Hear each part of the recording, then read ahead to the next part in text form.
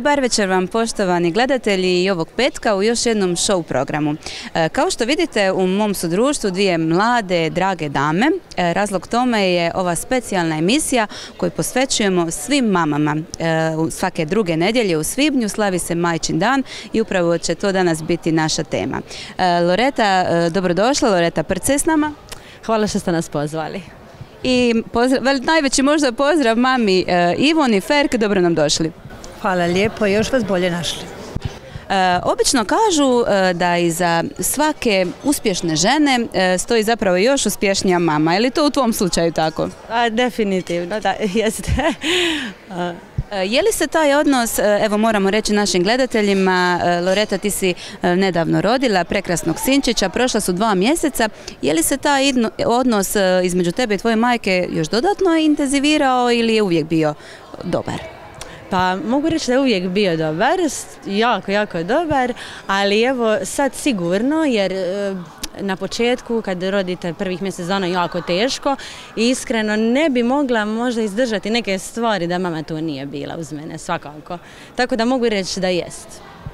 E, evo, e, vi ste mama, e, promatrali ste svoju djevojčicu od rođenja pa do evo odraslih godina, sada kada je ona sama majka, ima svoju obitelj. Kako se to mijenja kroz godine? Kroz koje sve faze se prolazi? Pa normalno kad, je, kad se tek rodi, e, važno je samo pružiti mu ljubav, toplinu, e, brinut se da e, prvo propuže, pa prohoda, pa sve tako idemo dalje, mislim jeli, sve ide svojim nekakvim tokom. Pa onda kad dođe u fazu puberteta, to je zanimljivo razdoblje, i njihovo i dobro ste rekli, zanimljivo. Jako zanimljivo. pa onda e, iza toga dolaze nekakva mirnija vremena i, i za njih i za nas kao roditelje. Onda e, se malo otuđe pa se vrate pa ima, bude tu svega, ali to je život. To mame mame mogu sve izdržati i mame mogu sve, jeli, znači i oprostiti i nastaviti dalje s njima i sve ljubav može, a mama je ljubav. E, evo, e, vi uz Loretu koja je danas tu s nama imate i sina. E, je li lakše ili teže gajiti taj odnos majke kćeri i majke sina?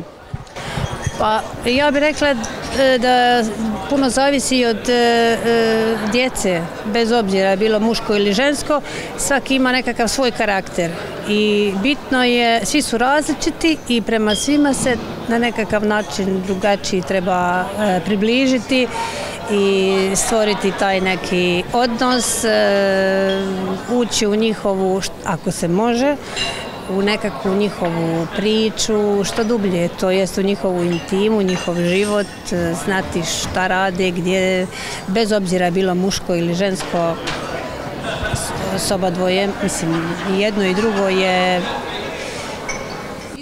izazovno na svoj način. Upravo tako.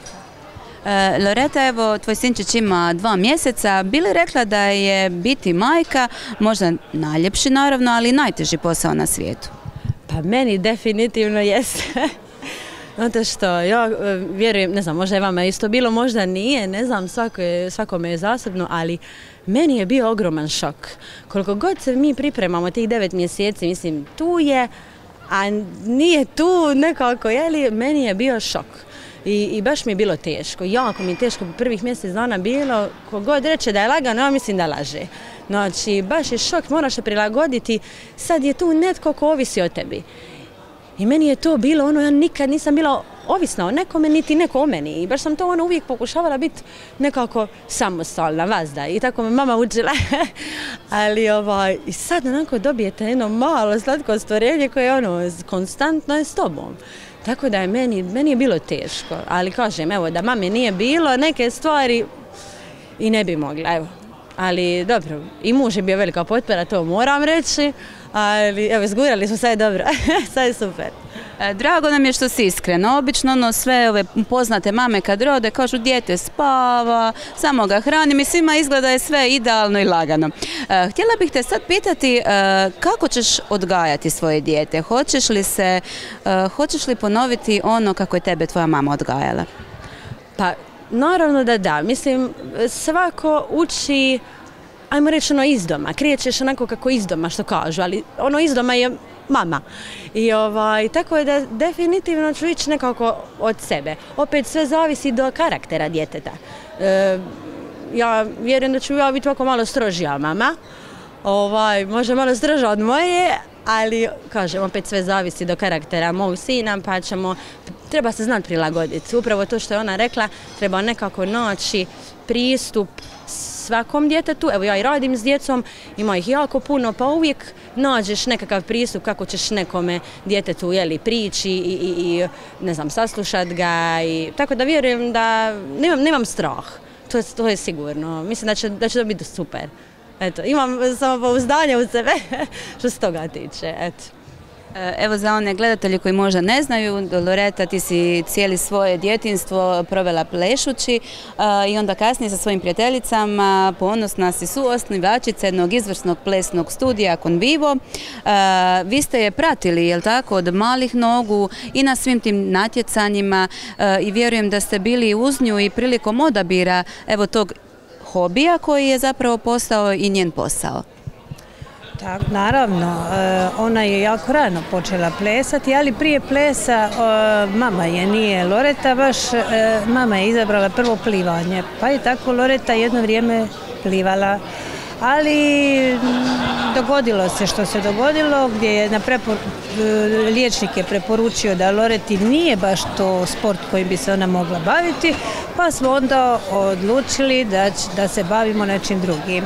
I, a Loreta je i prije tog plivanja, e, jer je ona cijeli život od kad od kad je baš, baš mala bila, non stop plesala, to je njome bilo, vazda je bila, bila je neka plastična gitara i to je bilo njezin svijet gitara i ples, to je ispred televizije. I ja sam nju pitala što bi ona htjela kao e, baviti se nekim hobi, nekim sportom ili nešto, a ona govori da bi na ples. Međutim, tad su svi e, rokovi, jeli, kako, audicije bile gotove, pa nismo mogli se upisati, ali smo ipak pokušali tad tete Šone u plesni studio Stepen Jazz i e, teta Šona je pristala da ona dođe i tako je to krenula. Ta njezina priča krenula i evo je, danas je tu gdje jest. E, evo upravo ste sad spomenuli kako ste zapravo zajedno sa Loretom odabrali nekakvu njezinu dodatnu aktivnost. Mislite li da možda mi današnje e, mame pretjerujemo u svim tim silnim aktivnostima na koje djecu upisujemo? Pa važno je djecu ne opteretiti tim nekakvim aktivnostima i naravno da je bitno ono što dijete želi. Znači treba poštivati, bez obzira koliko godina ima, dijete treba poštivati i uputiti ga tamo, ako se može naravno, tamo gdje ono želi. I da, biti mu potpora u tome.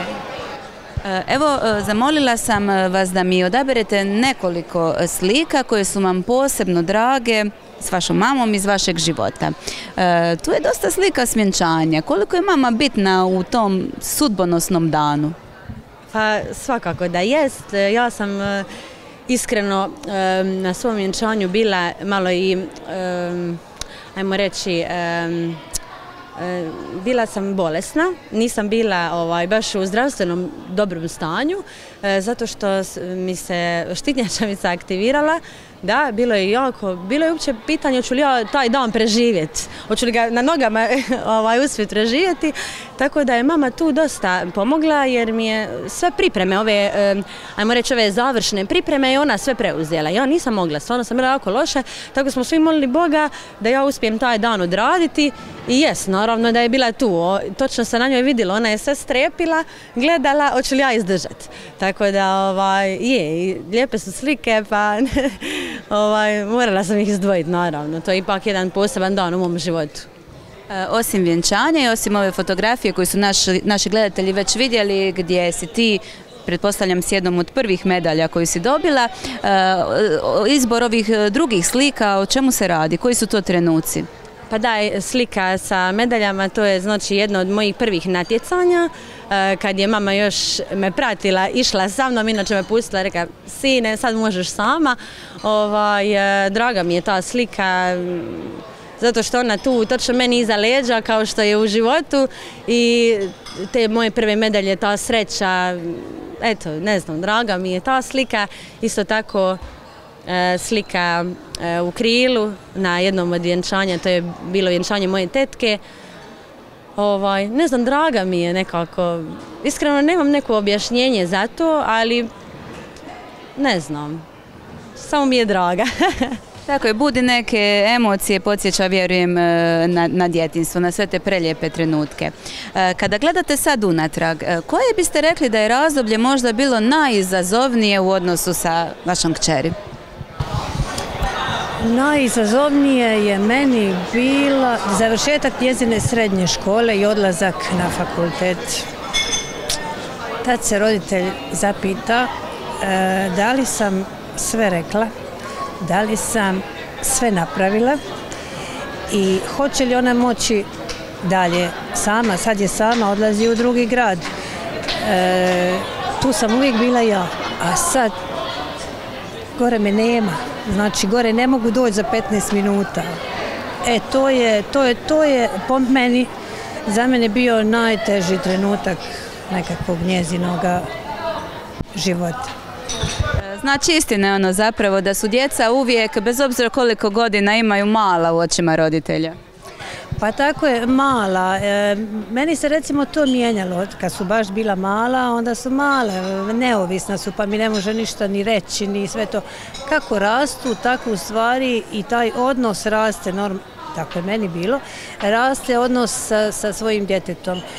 A sad je žena, sad je majka, prije svega i sad je opet nekakav drugačiji moj odnos prema njome, ljubav normalno još veća, ali e, nekakvo poštovanje jer je sad i ona majka.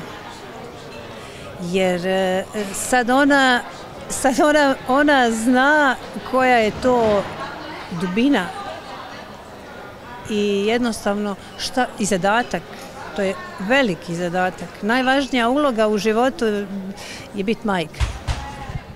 Točno tako, mi smo toga, mi smo toga svjesni, zbog toga i cijela ova emisija. Evo Loreta, e, ako bi bilo nešto što možda nisi svojoj majci nikad rekla, a voljela bi joj reći, što bi to bilo? Ajme meni. Što nikad nisam rekla, a voljela bi joj reći. Pa ne znam. Rekla sam da je volim, to već zna.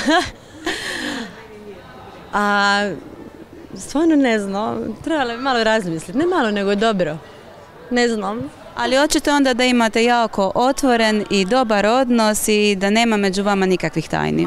Ma, mi smo najbolje prijateljice, od uvijek bile i tako je to i dan danas, mislim. Nemam, nemam nikakvih, e, s mamom uvijek iskreno i uvijek, uvijek mi je tu. Tako da, to je to. Tako je, mama je uvijek u srcu kao i kćer. E, puno vam hvala što ste bilo ovako otvorene i što ste neke svoje intimne detalje iz života podijelile s našim gledateljima. Hvala vama. Loreta, bit će još prilika za susrete. Naravno, hvala vam. E, vas, dragi gledatelji, pozivam da i dalje ostanete uz show program. Nakon kratke stanke ugostit ćemo još dvije divne e, dame, e, mamu i kćer, Robertu i Piju Šimunović, zapravo Robertu Šimunović i Piju Vidak.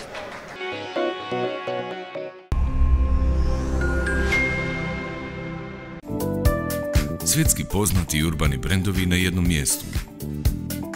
Vaša modna destinacija Borza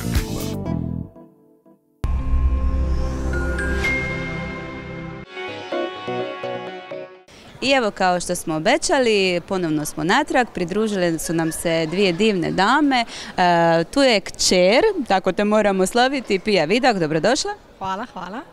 I mama Roberta Šimunović, dobrodošla. Hvala lijepa na pozivu. E, Pija, e, kako bi ti opisala odnos sa tvojom mamom? Pa nas dvije smo, ja mislim, cijeli moj život imali nekakav specifičan odnos i svi su moji prijatelji, ja moram priznati, uvijek bili malo ljubomorni na mene, kakve ja roditelje generalno imamo, pogotovo mamu. E, ona je, vas da meni, prema meni imala nekakav prijateljski prije svega odnos, ali s nekakvom dozom autoriteta. Znala sam ja uvijek što smijem i što ne smijem, iako smo uvijek bile najbolje prijateljice. Tako da eto, to bi, tako bi ja opisala kratkim riječima naš odnos. E, I možeš reći, je li uvijek bio idiličan ili ipak je bilo nekih uspona i padova? Ja se sjećam samo jedne scene, tad sam ja, jako nešto dobro zgriješila. Nije me nikada dušu udarila, nikad, stvarno to moram reći, ali je jedno, jedna pepeljara poletila u pod, ostala je vječna rupa u parketu i to mi je podsjetnik bio. Ali mislim, to su sve tako male neke sitnice, eto toliko da se toga sjećam, te jedne scene i više ne. Više manje su to stvarno bile ono smijeh i radost i zagrlja i poljupci, priče i baš ono lijepi momenti. Možemo li se sjetiti koji je to bio trenutak, što je to zgriješila? ne znam se li to ja mislim, jedna slika koja se dogodi svakom roditelju, dakle kao otkriješ nešto što ti ne bi htio. Doduše sam znala, ali evo sam moram priznati na televiziji da, da je to više bio bijes u meni zašto je to moj suprug, odnosno otac otkrio. I onda sam ja uzela za nefale kristalnu pepeljaru koja je bila od mog vjenčanja, ovako lijepa velika. I uzela sam svoj znakom kogu sam mogla, onako je opod kresnula i naravno ta pepeljara samo uskočila, ostala jedna rupa u parketu, nepopravljiva. Ali bio nama svima posjetnik da se problemi mogu rješavati s bacanjem stvari opod, a ne nekakvim drastičnim kaznama. Jer mi smo imali dogovor i cijeli život smo se toga držali. E, a to je za istinu, te nikad neću kazniti. Nikad. A, e, a za svaku laž slijedi nezamislivo. Tako, evo, mislim, sve u svemu, kada ovako zbrojite sve i oduzmete, kako bi opisali e, odnos e, sa Pijom kroz godine? Kad je onako možda bilo e, naj, najintenzivnije vama kao roditelju? Ja moram reći jednu stvar da sam ja Piju odgajala na pokušavajući njezin život napraviti što kvalitetnije. S obzirom da sam osoba s invaliditetom od njezinog rođenja i e, ta priča u nas u kući je bila puno moje tuge neke. Međutim, ja sam nastojala da ona kod dijete to ne osjeti, iako je bilo prilike zbog okoline u kojoj rasta drugo, eli, vrtić, škola i tako dalje. I željela sam da se uvijek smijemo i to smo radili. Mi smo se smijali, mi smo znali po cijele noći se smijati. I, i uživali smo svakom trenutku. Međutim, postoje ona druga strana medalje kad e, sam ja piju kao malo dijete morala naučiti koje lijekove da mi doda. I to nema cijene. Ta njezina odgovornost prema meni, ona je meni spasila život. Njezinim dolaskom na ovaj svijet, ona je meni spasila život, jer ja sam uvijek imala razloga zašto da ja idem naprijed, da dočeka njezin vrtić, da dočeka njezinu školu, osnovnu, srednju, dočekala se i magisteri koji je bio e, meni jedan od momenata koji usprkos mnogim nedačama ili koje smo u tom periodu prolazili, jedna beskrajna ljubav njezina prema meni i prema e, i ocu, jes. Nema suza, samo smijeh, jes. Ode i voditeljica. Nema veze, mislim, s obzirom da ti znaš o čemu se radi, dakle, jeli, o bolesti, to je pobjeda nad pobjedama. I mislim, zato je majka tu, da zajedno sa svojim djetetom pobjeđuje sve te male i velike, teške trenutke. Dočekali ste i unuče? Ljubav, ljubav e, e, bake prema unučetu kažu da je to još tisuću puta više nego prema vlastitom djetetu istina. E, to je e, to je nešto što nema riječi. Dakle, to su oni leptiri, to su oni žmorci, to je, ne znam kako ćete nazvati, to je ljubav od koje se plače, ljubav od koje se smije. E, ništa ti ne treba više nego pogled. I sad tebe dijete tvoga djeteta gleda i nešto govori i to je, to je najljepše od svega. Evo, mislim, ja stalno govorim što meni u mom životu više treba. Ja sam sve dobila. i Bogu hvala na tome. I to je, mislim, to je cilj. Cilj, cilj mog života i vjerujem svakog roditelja, svake majke da doživi taj, e, taj trenutak kad te neko malo dijete počne zvati nune, bako, kako god, jeli? ali to je, to je onda ljubav na iksentu što se reče. E, Evo, e, e, Pija, jesi li ti kad si sama postala majka, zapravo, obično to žene kažu, zapravo tek onda shvatiš svoju majku? Upravo tako. Mislim, ja još, znači moje dijete još malo, pa nemam tu, ne mogu je razumjeti u nekim mojim godinama, na primjer kad sam bila u pubertetu, vjerojatno će mi tad, tak, tad će mi tek svanut. Ali, Pa da će bate ove pepeljare. vjerojatno. Ali, ovaj, da, tek ja sad razumijem, ona je uvijek meni govorila ne možeš ti mene voliti koliko ja volim tebe i meni je to bilo nezamislivo kako to možeš ti više mene voliti, ali tek sad shvaćam, ono, to ti svoje dijete voliš, mm, to nema, nema riječ kojim to čovjek objasnio. Tek mi je sad to malo jasnije, malo pitanje je sad, dok dođe, rekla sam do puberteta, tad ćemo vidjeti. I hoćeš li svoju curicu odgajati kao što je tebe tvoja majka odgajala? A, da bar mogu, ja se nadam jer ja smatram da odnos koji ja imam prvotno s mojom majkom, a iza toga naravno i s mojim ocem koji je isto ono, priča za sebe. Ovaj, ja se stvarno nadam da ću ja moći barem upola biti tako dobar roditelj, tako dobra majka kao što je moja majka bila meni. Pa hoću li uspjet, eto, možda ćeš držati intervju mojoj čeri, nikad ne znaš. Ali ovaj, stvarno da, nadam se da ću moći postići da budem sa svojoj kćeri takav prijatelj, da će imati povjerenja u mene kao što ja imam povjerenja u moju majku, da će moći ona meni reći sve kao što ja mogu mojoj majci, bez da, da me osuđiva, bez da me krivo gleda, bez da me krivo shvati i to je nekako moj dar isto, to što sam dobila ovakvu ženu za majku, ženu zmaja u biti. Tako je, e, bez obzira koliko nam nekad savjeti koje nam naše majke daju u tom određenom momentu mogu poći na živce, oni su zapravo uvijek dobronamjerni, jel tako? Uvijek, uvijek. U stvari svaka majka ne želi uopće da prođe ni dijelić, ni mili dijelić nečega ako je bilo ružno, da nje, tvoje dijete to prolazi. Međutim, život je takav da je sastavljen od puno nekakvih uspona i padova.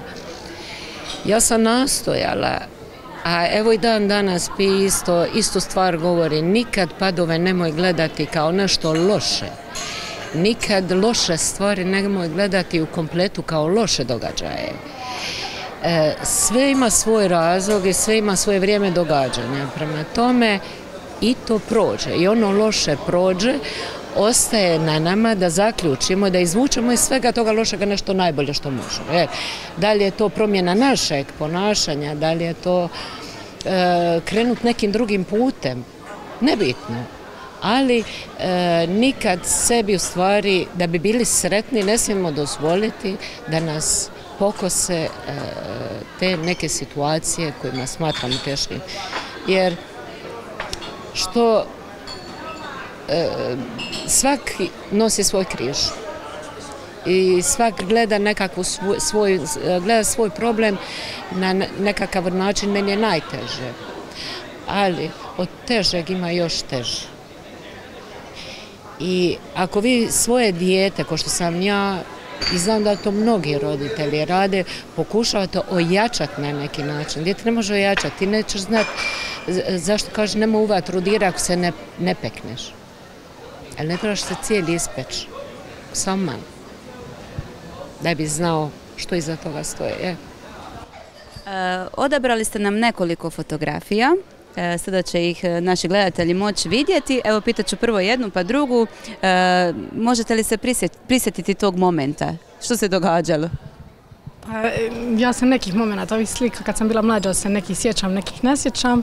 A ove se sjećam ovog snimanja kad, smo, kad sam bila u Konavojskoj nošnji, to mi je baš, to mi u pamćenju ostalo baš jako i zapravo se sjećam ovoga momenta kad smo bile u istoj ovoj, ja u kupaćem, ona u majici.